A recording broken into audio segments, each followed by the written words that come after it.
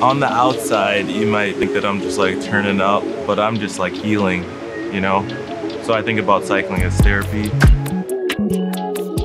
I try to coach in my community, so I want to get all the black kids out, all the, the BIPOC community out. Like, hey, let's do some yoga. Let me show you how this actually feels. Like, this is a healing process.